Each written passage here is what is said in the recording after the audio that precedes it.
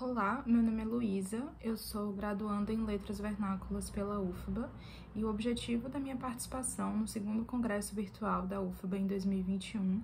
é comentar um pouco sobre minha pesquisa de iniciação científica que foi realizada entre 2019 e 2020 sob a orientação da professora doutora Lígia Guimarães Teles e com o fomento da Fundação de Amparo à Pesquisa do Estado da Bahia. O nome da minha pesquisa foi Davi Arrigucci Júnior, leitor de Cortázar. Ela foi desenvolvida no âmbito do grupo Escritor e seus múltiplos migrações. E nesse grupo, nosso objeto de análise é o perfil e a produção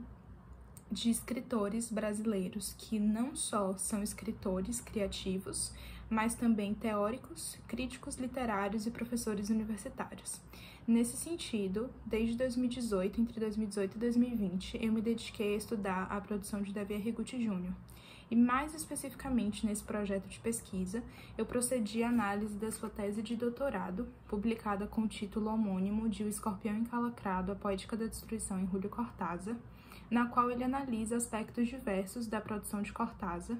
a partir do inserido, melhor dizendo, no, nos campos da teoria literária e da literatura comparada.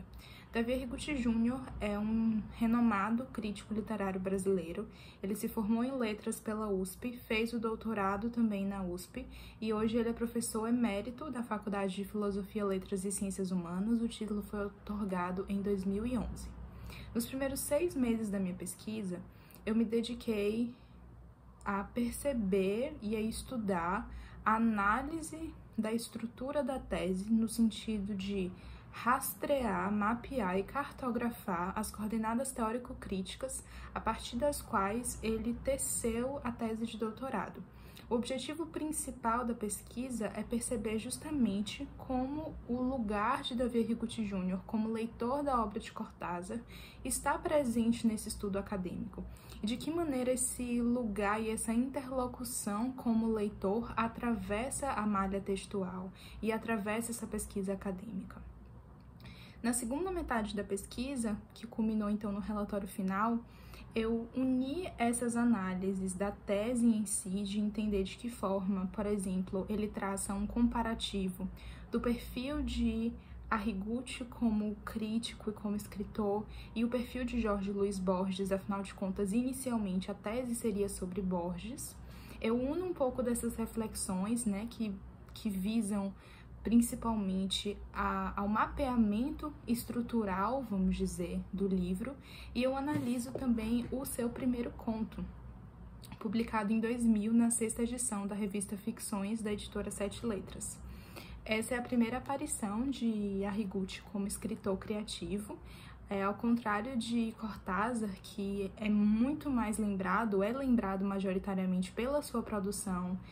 é, ficcional, né, pela obra literária, apesar de ter atuado como crítico e como professor de maneira mais pontual, Davi Arrigucci passa a escrever e a publicar ficção a partir de 2000, quando ele já tinha uma carreira muito estabelecida na crítica literária, na docência, na teoria. E ele é um nome importantíssimo na difusão da obra de Cortázar no Brasil, na difusão da literatura hispano-americana, como ele chama de maneira geral. E a partir do momento em que eu procedi à leitura e análise do Viagem, eu também pro proponho algumas interlocuções com o conto A Casa Tomada, de Cortázar,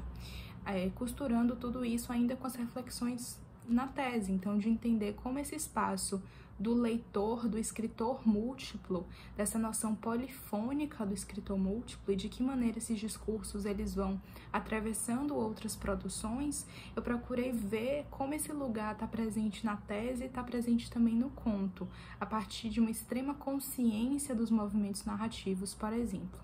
Então a pesquisa investiu muito nesse sentido